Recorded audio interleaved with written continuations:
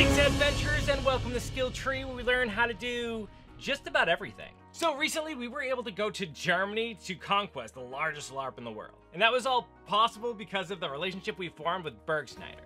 They've been super cool to work with, and they wanted to send me a couple things just to check out and, like, make my own. Starting with this shield here. Now, because it has like a canvas material on it, I thought like, oh, this will be a nice, relaxing episode. We'll just kind of, we'll kind of hang out and paint a little bit. Gonna get my Bob Ross on, have a little fro, talk very quietly. And then the person that is me took over, and it just is spiraled into a much bigger thing. We're gonna take like a base shield, we're gonna customize it to be our own and make it something, make it sound pretty awesome. And make sure you stick around to the end because we have some winners from last week's giveaway. So without much further ado, let's jump right into it and level up this skill. Oh, hey there, it is me from the past interrupting this. So I'm not gonna lie, I always hit a portion when I'm doing work like this where like I hit kind of a wall.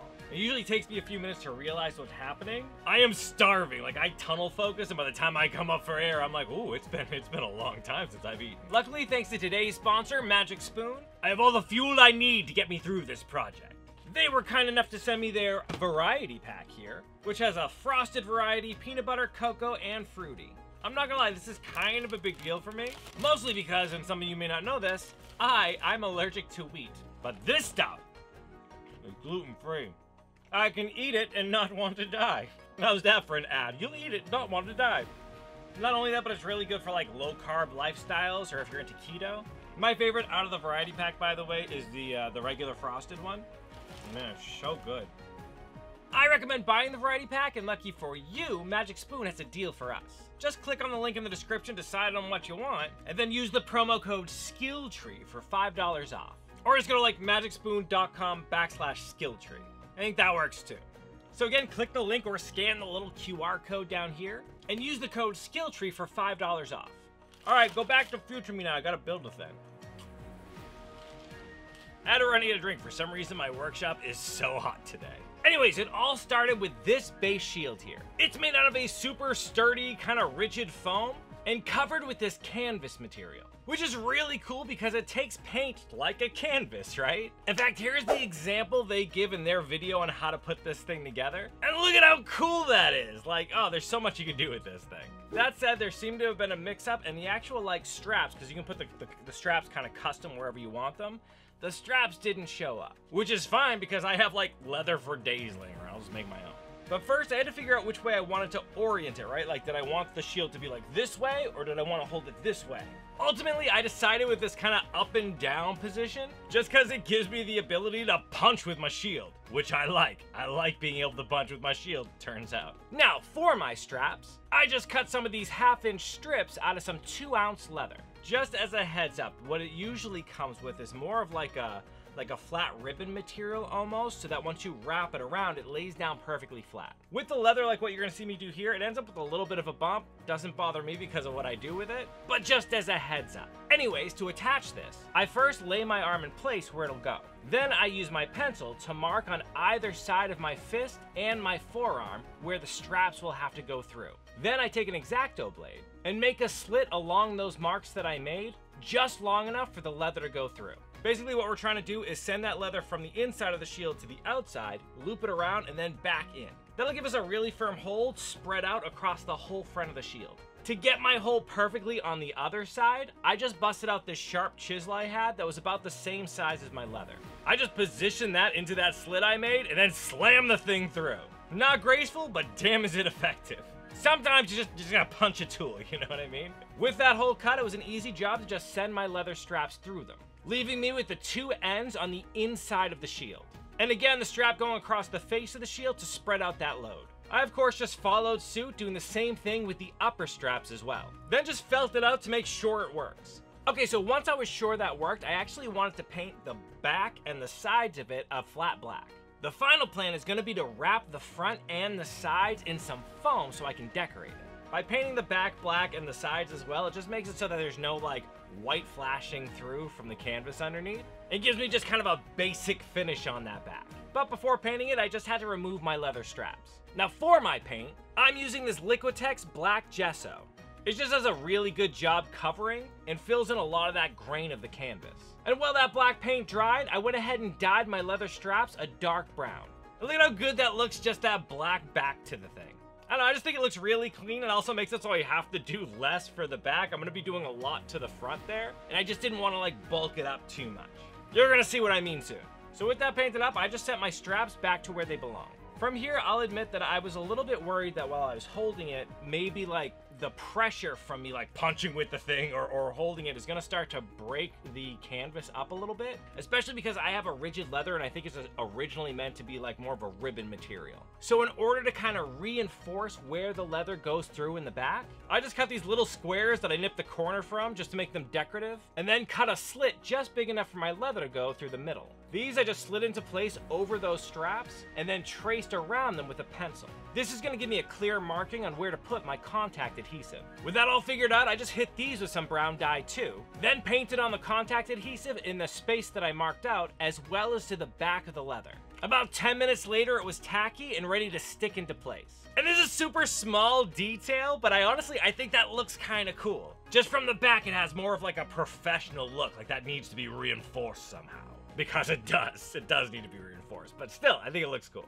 Okay, now really time to get into the meat of this thing. I've never like wrapped anything in foam, but I know how foam reacts when you're trying to like carve designs into it and stuff, and I really wanted to get that in here. So at the risk of just ruining the whole thing, I decided to give it a go. The foam I'm using is this 2mm EVA foam. I just cut a sheet in half and then lined up one edge with the very center of the board. So the vision here is to make the shield look like it's made out of wooden planks. So having that line down the middle doesn't bother me at all. In fact, it's gonna make it look more realistic. I'm gonna make sure I put my glue exactly where I needed it. I just flipped the whole thing over and roughly drew around the shape of the shield.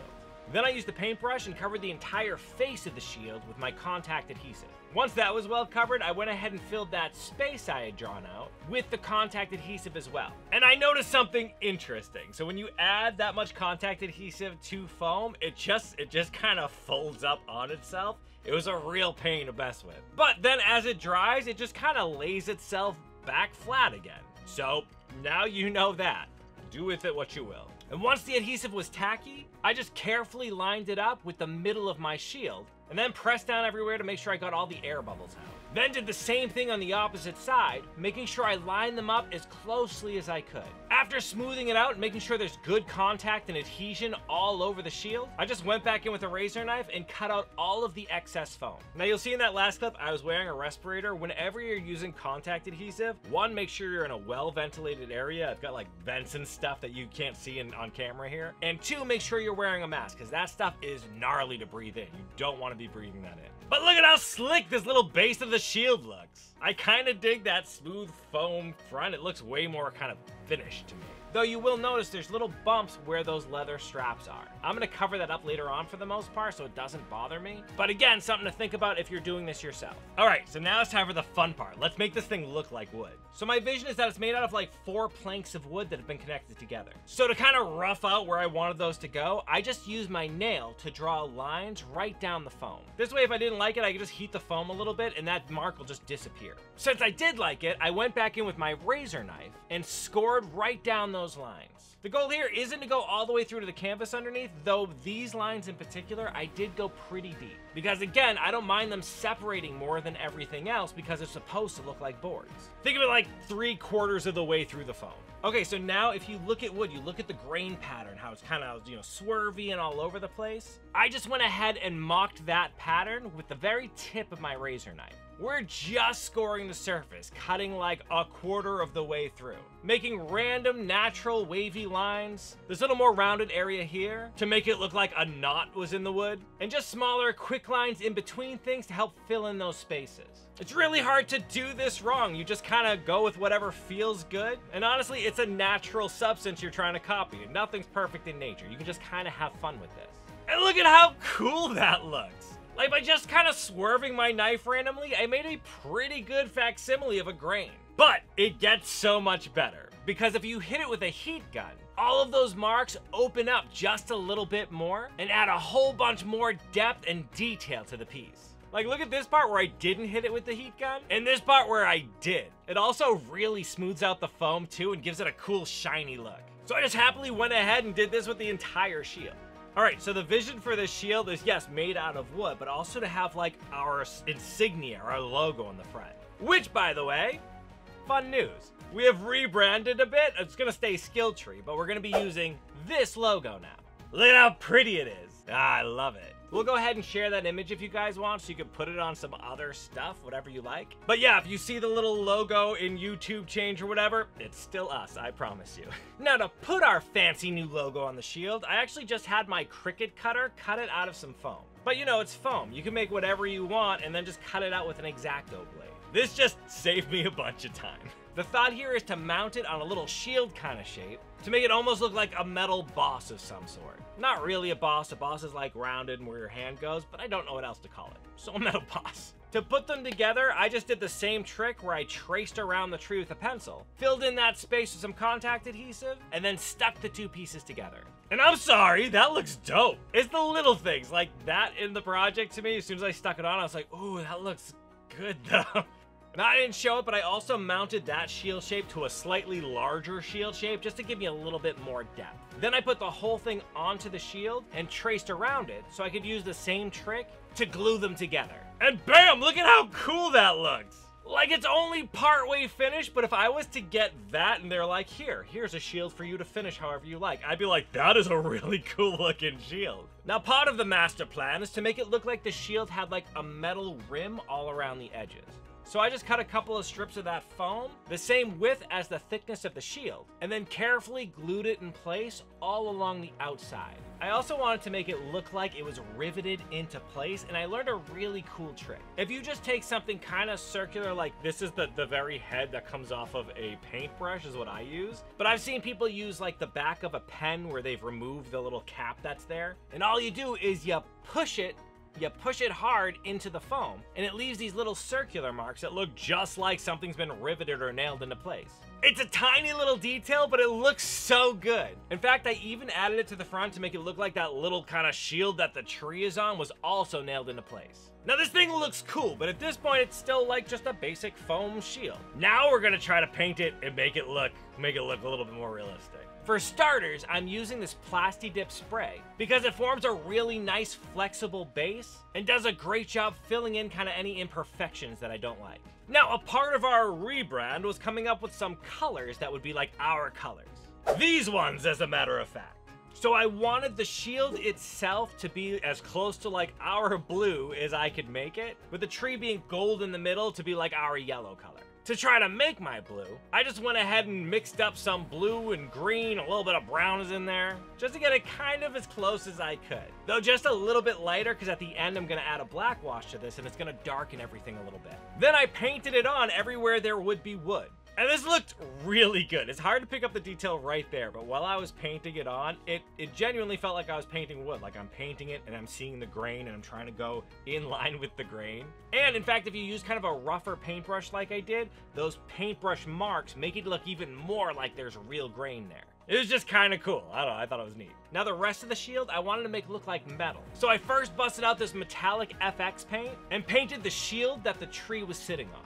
I also used that paint to paint all around the edge of the shield. Then I used some gold FX paint to paint the tree itself and the outside border of the shield it's mounted on. I also painted in the little rivets just for extra detail. Alright, so once that dried, I just needed to add a black wash to add more detail. This stuff's dead easy to make. I just added a little bit of black paint to a spray bottle, a whole bunch of water, and a couple of drops of dish soap. You want something like a dish soap because it breaks the surface tension of the water, allowing it to get into all the little cracks and crevices. Once that was all set, I just completely covered this shield in my black wash. It's always stressful to do because it looks like it's too much, but as you dab it off, you can see that all the little cracks and everything stand out way more because that paint made its way down into them. It has a crazy amount of detail and depth that just generally looks really good. Like, look at how slick this grain pattern looks now. Oh my god, I love it so much. It looks like real planks put together now, and even the metal pieces have way more depth because of that color variation. As one last little, mwah, little coup de grace for this thing, I just busted out my airbrush and added kind of a vignette all around the outside and around that shield to kind of make it pop a little bit more. And oh my god, look at how slick this thing is. It looks so dope. Like, look at it. Oh, I love it so much. And it was really easy to do. I was worried at first about wrapping it in foam and stuff, but actually, it was no problem at all. And the foam made it so I could make this nice texture. I just, I love it. Oh, I made some handles too for the back.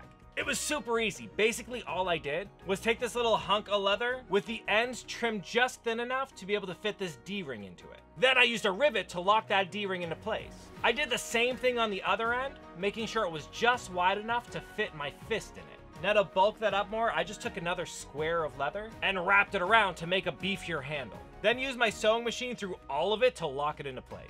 It's super rough and rudimentary, but once it's dyed, it actually has a really cool look to it. I genuinely like that rougher kind of looking thing, especially with handles like that. I don't know why. It just already has a feeling like it's been well used. I don't know, I think it looks cool. Anyways, I was able to use those leftover straps from the piece that went through the shield, cut off the excess, bend them over that D-ring, and lock them in place with some rivets. Now I have this badass nifty little handle to hold on to. To finish it off, I just punched a bunch of holes in one of those bottom straps and added a buckle onto the other one. This gave me a nifty little adjustable belt that helps lock it securely into place on my arm and makes it so that no matter how thick the armor is I'm wearing, I can still use my shield. And this holds nice and strong, gives me really good control over the shield, and I love it. Oh my god, I love it so much. Now there's two more things I could have done with it. One is I could take like a dry brush with white and add add a little bit to it. I think that will add a little bit more of a um, depth to the whole piece, kind of making those highlights stick out a little bit more high, which I might do. The other thing is this needs a top coat. It needs to be covered up because if it like rains like it did when I was in Conquest, all of this this paint is to reactivate and drip. Now you can use a regular spray sealer, but I'm actually waiting to get this stuff. It's called Through the Roof. It's apparently a clear, flexible product that's made to like patch holes in your roof. But a lot of people who do like cosplay, LARPing, foam work like it because it seals well and it's flexible so it won't crack over time. I'll let you know in a later episode how that goes. But look at that! Ah, oh, it's so cool. I love it so much. Okay, so last week I decided to do two giveaways. One, I said a whole bunch of people were going to win some of these little belt favors here so that you could identify each other out in the world if you go to LARPs or anything. I believe I said 10 people, and I'm not going to read off all 10 names. I'll probably butcher them. So you should be seeing them right here. Congratulations, you 10! Do reach out to me via this email here to let me know where you want me to send them. The second thing I'm giving away is a nifty bullwhip that friend of the channel, Elicard808, made for me. Well, he didn't make the one I'm giving away for me. He made that for you. I'm keeping one. And the winner of this nifty thing is Kim Alley. Kim Alley, congratulations. I will send this to you again. Just go in the description and send it to my email. Also, because I'm sure this I'm sure this is considered a weapon, I may have to ask if you are A, an adult or B, have adult permission to get said whip. I didn't I didn't really think that one through. Anyways, make sure you reach out to me and you'll be, you know, whip whipping things. It really is cool. They crack really well. Oh, one more special thanks to Magic Spoon for sponsoring. Like, I have been eating this for a long time. I genuinely do like it. So yeah, you use the code thingy because they're real good. Okay, that is it for me. Just a reminder that next week we aren't going to have an episode because your boy's traveling and I'm, I'm gonna need to rest a little bit. Now, if you like this project half as much as I did, why don't you give me some of that like it love and don't forget to subscribe so you know when I release new content. In the meantime, though, keep leveling up, you. You made it to the end screen. YouTube loves it when you do that. It's a fantastic way to support this channel. Another fantastic way to support this channel is by joining these people's noble ranks. These are our Patreon skill monkeys, and we couldn't do it without them. A special thanks to our newest high tier level Patreon members, Richard Moore, Sean Cateas, and Teresa Cates. It means just everything to us that you guys want to support this channel, and it's an amazing help for us to actually get the materials we need to do this stuff. If you like what we do here and want to support us, consider joining our Patreon, link in the description below. Or you can click on one of these videos that YouTube thinks you'd like, and that'll work too. I'll just sit here and stare ominously at you until you pick which one.